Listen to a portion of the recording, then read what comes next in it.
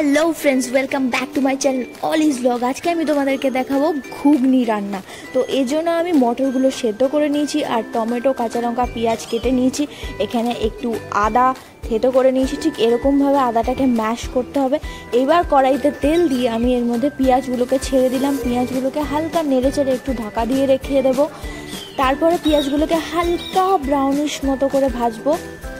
একটু নেড়ে চেড়ে নেব মাঝে মধ্যে যাতে পুড়ে না যায়। এইবার এর মধ্যে আমি দুটো কাঁচা লঙ্কা দিয়ে দিলাম, এবার একটু আদা দিয়ে দিলাম। দিয়ে আদার ওপরে আমি হালকা করে একটু সর্ষের তেল ছড়িয়ে দেবো, যাতে আদাটা একটু ভাজা ভাজা মতো হয়ে যায়। কিছুটা ভাজা হয়ে এলো, এইবার এর মধ্যে আমি টমেটোগুলোকে দিয়ে দিলাম। টমেটোগুলোকে দিয়ে এটাকে ভালো করে নেড়ে চেড়ে নিলাম। এবার এর মধ্যে সমস্ত রকম মশলা আমি দিয়ে দেবো। হলুদ গুঁড়ো, জিরে গুঁড়ো। ফার্স্ট আমি জিরে গুঁড়ো দিচ্ছি। এবার আমি হলুদ গুঁড়ো দেব, ধনে গুঁড়ো, গোলমরিচের গুঁড়ো, আর একটু চিকেন মশলা দিয়ে দেবো।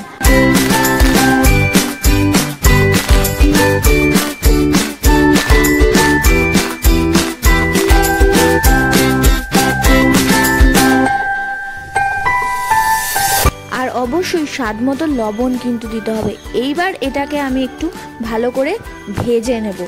লাস্টে আমি একটু কাশ্মীরি মরিচের গুঁড়ো দিয়ে দিলাম যাতে কালার হয়। এবার একটু তরকারিটাকে কষিয়ে এর মধ্যে অল্প করে একটু জল অ্যাড করব।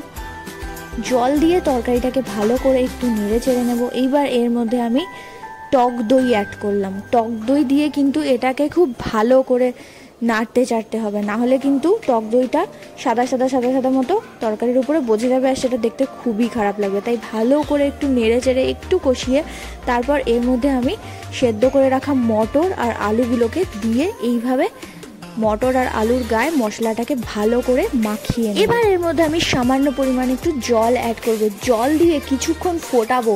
কিছুক্ষণ ফুটিয়ে নিলেই কিন্তু রেডি হয়ে যাবে আমাদের ঘুগনি। তো ভিডিওটা কেমন লাগল তোমরা অবশ্যই আমাকে জানিও। আর যারা চ্যানেলে নতুন আছো প্লিজ সাবস্ক্রাইব করে দিও। তোমরা দেখতে পাচ্ছ এবারে ফুটছে ঘুগনিটা টকবক টকবক করে। কিছুক্ষণ ফোটার পরেই রেডি হয়ে যাবে আমাদের ঘুগনি। কেমন লাগল ভিডিওটা অবশ্যই জানিও।